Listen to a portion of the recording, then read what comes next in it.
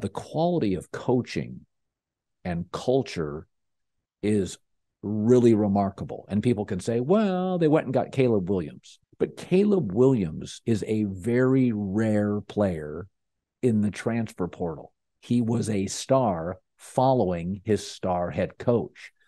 But USC is largely made up of underachieving players when Riley entered it and guys who were solid players at other programs that transferred. That shouldn't equal 11 and 1. that's that's not that's not an 11 and 1 roster.